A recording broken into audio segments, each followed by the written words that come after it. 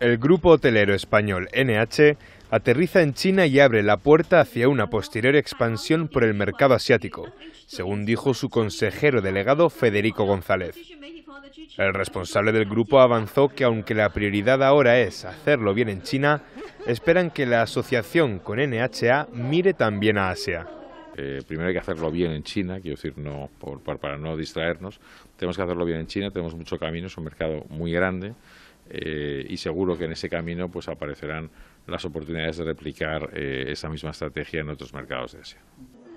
El desembarco en China representa un desafío para NH que tras expandirse por Europa y Latinoamérica comprando otras cadenas nacionales o construyendo sus propios hoteles, busca ahora una aventura, según González, en la segunda economía mundial.